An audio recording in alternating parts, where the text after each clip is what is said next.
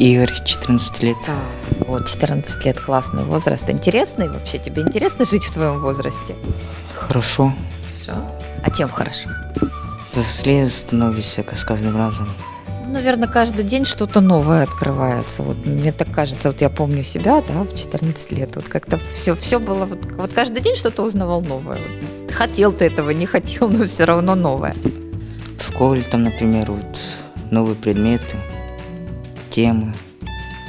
Здорово, слушай, ты первый человек, который первым, да, вот без моего вопроса заговорил о школе. Давай вот я продолжу. Что тебе там нравится, если ты о ней говоришь? Или наоборот, не нравится, может быть?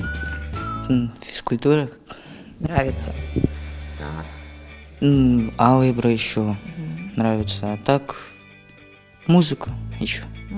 Музыка, здорово. А что ты любишь вообще вот больше слушать музыку, да, и если да, то какую? Или же все-таки, ну, возможно, спеть, потому что сейчас очень модно караоке, допустим. Больше всего слушать. А что ты любишь слушать? Как, какие направления? Рэп. А сам пробовал читать? Ну, хотя бы сам, вот сам для себя перед зеркалом. Пару раз, да. И как? Нормально. Тебе понравилось или кто-то еще присутствовал и сказал классно? Мне понравилось. А Остальным? Я сам Сам себе, да? Слушай, смотри, вот как первый шаг, да, ты сам, допустим, прочитал, тебе понравилось, есть мероприятие, допустим, даже здесь, где ты находишься, да, какие-то концерты. Нет инициативы, может быть, подойти к педагогу и сказать, слушайте, а я вот номер подготовлю. Да нет, такого не было еще. Не было, но мысль есть или нет? Хочется? Не очень. Почему? Стесняюсь. Хорошо. Ну, ничего, может, еще перерастет, перерастешь, может, еще захочется. А скажи, пожалуйста, ты вот думал, кем ты хочешь стать в будущем? Думал, кикбоксером хочу. Ага, так, значит, а что-то ты занимаешься уже или, в принципе, так вот только планируешь? Планирую. Там, например, если когда уйду отсюда, на тренировки буду ходить. А почему кикбоксинг? Именно это направление, то есть не бокс классический, да, вот в его понимании, а именно это. Нравится просто. Там и руки, ноги можно. А в обычном боксе только руками. Животных любишь? Да. А, допустим, будет свой дом, своя семья, хотел бы животное какое-нибудь завести, там собаку, кошку, домашнее я имею в виду, Можно было бы собаку с кошкой. Собаку, и кошку, да? Как ты думаешь, справился бы с тем, как вот они бы взаимодействовали, чтобы они нормально были воспитаны оба? Справился. Кого легче воспитывать, щенка или все-таки человека? И то, и то можно. Естественно, конечно, можно и собаку воспитать так, чтобы она была настоящим другом, и э, человека, естественно, тоже можно воспитать, да, собственного ребенка.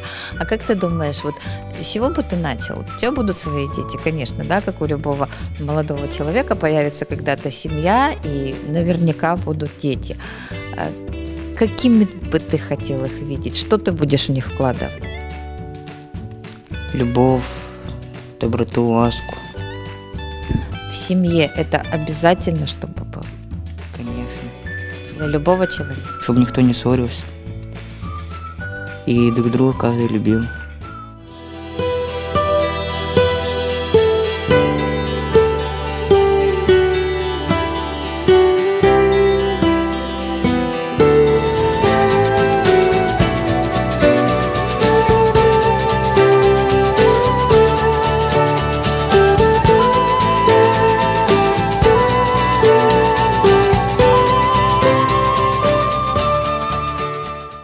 Вітаю, шановні друзі!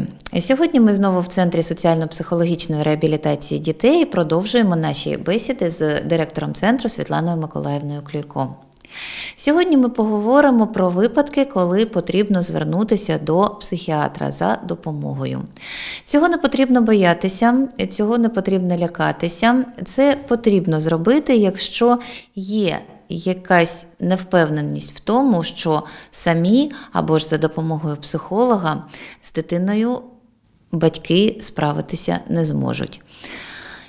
В яких випадках все ж таки потрібно звернутися до такого вузького спеціаліста? Будемо дізнаватися просто зараз.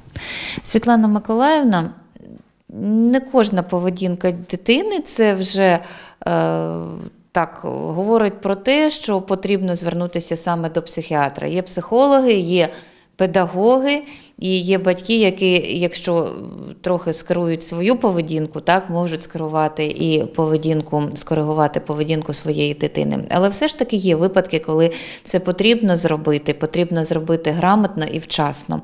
Як зробити так, щоб е, психіатрична допомога дійсно була надана вчасно, і потім вже е, дитина в більш дорослому віці, вона просто вже була і е, вела нормальний спосіб життя, так, але скоригована е, вчасно спеціалістам з психіатрії.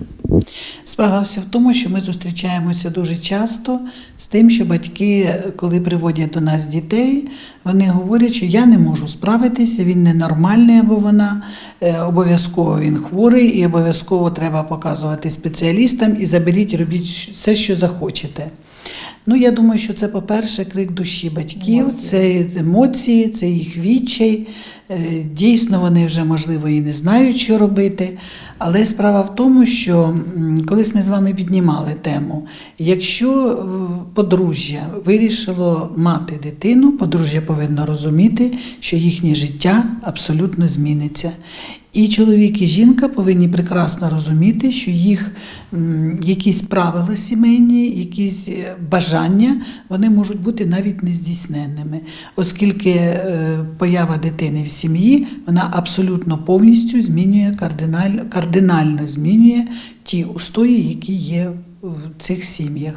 Тому на дітей треба дивитися, дивитися з народження, більше того, звертати увагу на поведінку дітей і звертатися там.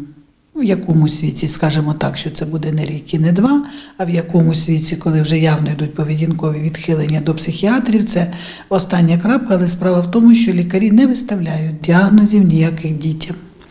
Е, Виставити діагноз достатньо складно. У психіатрії є свої правила. Фахівці-психіатри вони прекрасно розуміють і поведінкове відхилення дітей. Вони говорять, е, ну, від, відстежують, скажімо так, чому таке трапилося. І яку допомогу можна зробити? Я хочу вам сказати, що майже завжди в таких поведінкових відхиленнях, як правило, психіатри вже не допомагають і не може бути виставлено ніякого діагнозу, це тільки йде поведінкове відхилення. Тоді Повернути е, історію назад неможливо. Ми не можемо відкрутити плівку і вернути дитину там 3-4-5 років, а потім ми розуміємо, що там сталося, чому так сталося і що нас чекає. Ми можемо тільки сказати, що нас чекає. Ми можемо тільки сказати батькам, як їм треба себе поводити, з чим змиритися.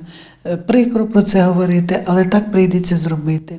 Як себе повести, як зробити так, щоб е, і дитина була в небезпеці, і е, жорстокі слова я буду зараз говорити, але дуже часто небезпека збільшується і для батьків. Це фізична небезпека, яка може відбутися.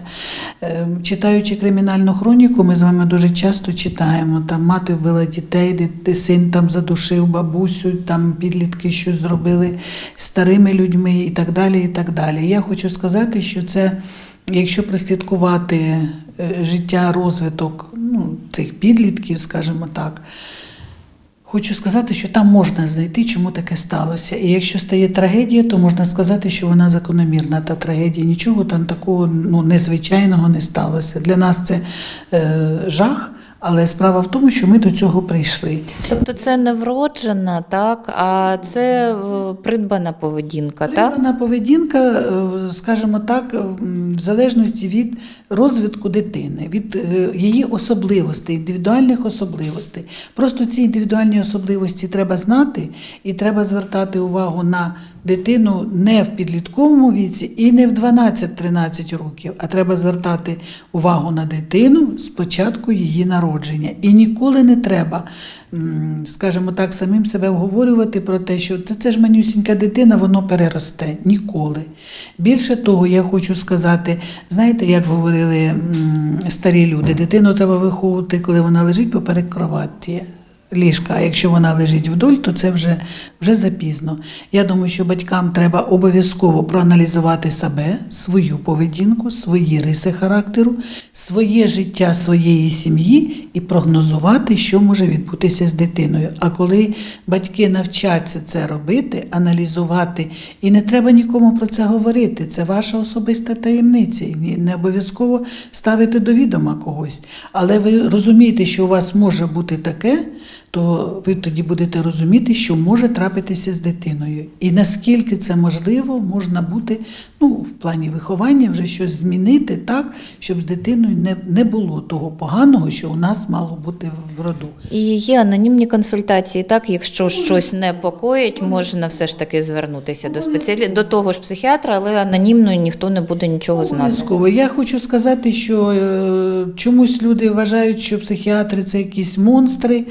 Взагалі це якісь там вони обов'язково там наколять пігулками, позапихують тих дітей. Такого немає. Я скільки років працюю і ми спілкуємося з лікарями. Такого немає. Я думаю, що якщо люди зуміють в лікарях побачити своїх однодумців і людину, яка може допомогти, ну це в плані, скажімо так, нервових якихось там, де дійсно якихось психічних відхилень. Але справа в тому, що може і не, і не, не треба психіатр, лікар, можливо, це звичайний лікар-невропатолог. Не дарма ж манесенько з, з маленького віку починають дітей показувати невропатологам. Більше того, є прекрасні педагоги, є прекрасні психологи. Е, Справа в тому, що треба, щоб просто батьки довіряли тому фахівцю, до якого вони звернулися. Якщо буде взаємопорозуміння з фахівцем, якщо буде абсолютна довіра, я думаю, що можна скоригувати поведінку дитини так, щоб не сталося в подальшому трагедії. Дякую, Світлана Миколаївна. Дякую вам, шановні друзі, за те, що ви залишаєтеся з нами. І знову ми прийшли до того, що якщо виникає проблема, потрібно з нею боротися, боротися всіма силами і за допомогою будь-якого спеціаліста, якого ви вважаєте для себе потрібним саме на даний час. Не потрібно ем, лякатися того, що буде потім. Потрібно робити зараз все для того, щоб потім було все добре. Я бажаю, щоб в наших сім'ях було все добре, щоб наші діти були щасливі та здорові. І прощаюся з вами до наступної зустрічі на телеканалі Миколаїв через тиждень.